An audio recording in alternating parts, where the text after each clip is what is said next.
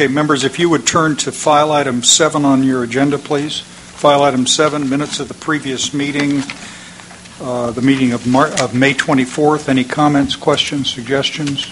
I've got, I've just got two of them. Angela, Pat, on page five of the agenda, uh, the motions that we made regarding um, red line, council actions, and errata page, if, if in your final version, you can include a web jump to the documents that have just been submitted to us today, so the folks who read the minutes can actually find the errata page and the council action page or whatever else the- is involved. That would be very helpful. Okay, anything else, members? Minutes? Okay, is there a motion to adopt the minutes as amended? Mr. Johnston, is there a second? Second. Second, Mr. Nottoli. Discussion, starting with Mr. Nordhoff. Nordhoff, aye. Johnston, Aye. Marcus abstain.